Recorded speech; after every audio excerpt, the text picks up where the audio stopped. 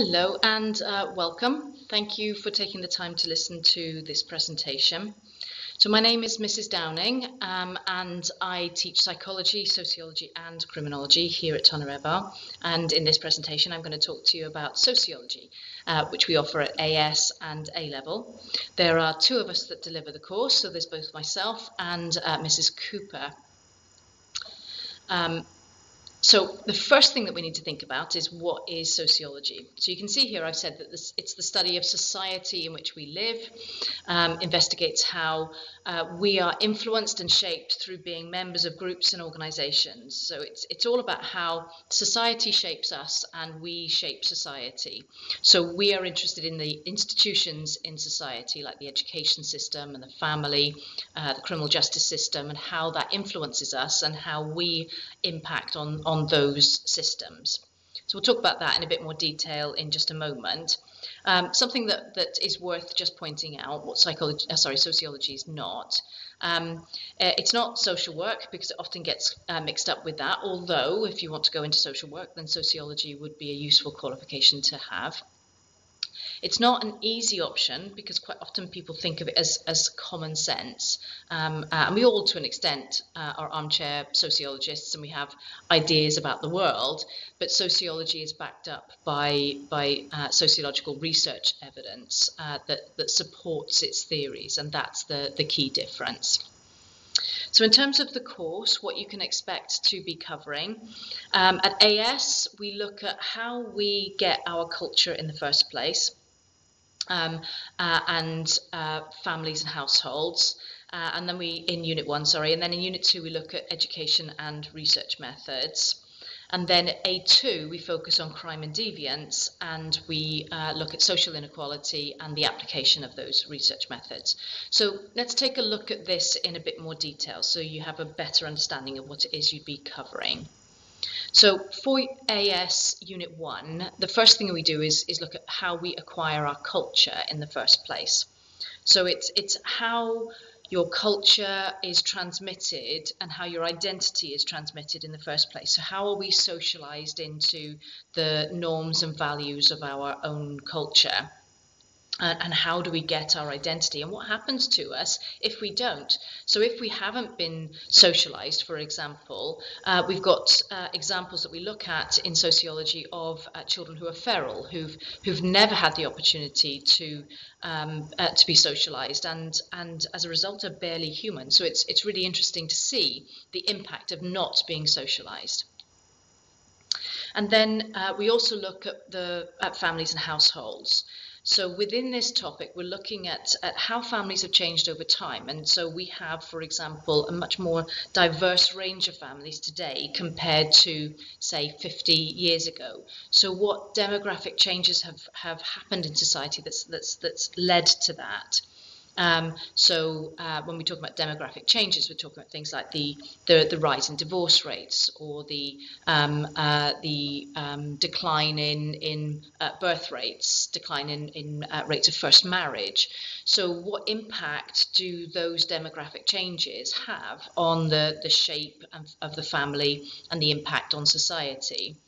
Um, we look at inequalities in the families. Inequality is quite a big topic within uh, sociology. So, so, um, so things like domestic abuse, um, uh, power differences in the family, who makes the important decisions, um, uh, the role of domestic labour, the division of labour, who's doing all housework, um, uh, and have those things improved, have those things changed over time, uh, so that there is now greater equality in the family compared to before.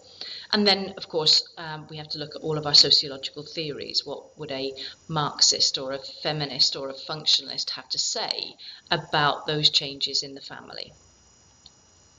Um, then in Unit 2, we look at um, how we conduct research. So the quantitative and qualitative research methods that's undertaken by sociologists in order to gather their data. So how are they going about doing their observations, their, their questionnaires, their interviews uh, in order to gather their information in the first place. And this is really important because um, uh, that feeds into applied research methods that you do at A2.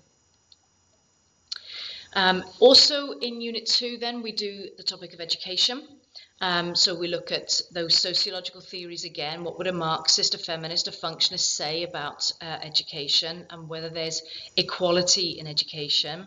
Um, so issues like um, uh, fairness and equity, do we have an education system that means that everyone has a fair chance?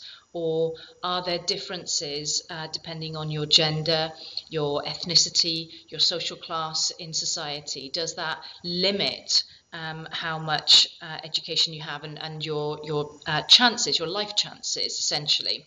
Uh, so these are the sorts of issues that, that we uh, look at. And then very quickly, just for just a flavour of what we're doing at A2, so in the second year of the course, we look at a range of things to do with crime and deviance. As you can see, there's just a, a flavour of them on the on the screen here now for you. Um, and we also look at social inequality in the second year of the course. Um, how do we define equality and uh, poverty and wealth? And um, uh, you know, what what are the issues with um, social inequality in society? Um, who tends to, to, to be the winners and losers in, in society, and why? And what um, are, what are government policies doing about about that? Um, so you'll notice that the the course itself is very much it's based on society, and we do um, like our students to, to, to, like to get involved in discussion and debate about these issues. Um, and we've uh, selected topics to to to uh, cover on the course that that most of our students would be able to to have some experience of and be able to to uh, bring some discussion to, to the table. So in terms of careers, then uh, as you can see, there's a whole range of uh, careers that this could be uh, relevant for. Um, sociology being the study of society, uh, then then uh, it, almost every aspect of society has got sociological components to it. So so it's a useful one for a whole range uh, of careers that that quite often people don't realise that. So we think sociology and often think only social work, um, but there's a much wider range of careers that that this is relevant for as well.